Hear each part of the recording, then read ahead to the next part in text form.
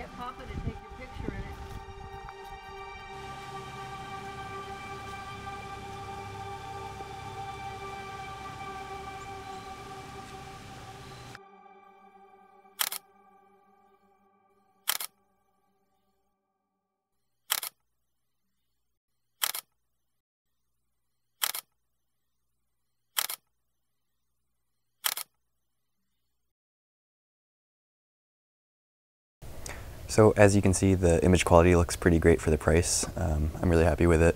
It's tiny. Um, it was only like like I said, $150. Um, obviously, the bokeh is a bit lacking, um, but again, I mean, it's a kit lens. You can't really expect too much, and I think relying on that every time to make a pretty image is, is kind of taking the easy way out.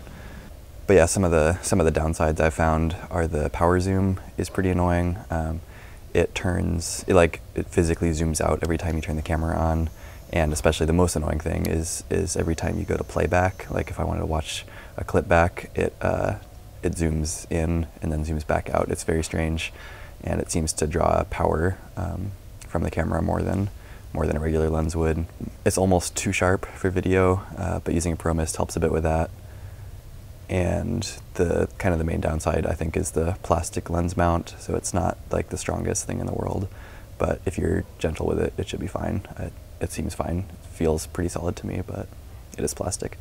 So hopefully you enjoyed this. Um, if you want to see more uh, camera and lens reviews, make sure to leave a comment below and subscribe. Um, I've got a, a, couple more travel videos coming out soon. Um, like I said, I got this right before I'm heading to Thailand, so that should be coming up soon. And uh, yeah, thanks so much for watching, and I'll see you next time.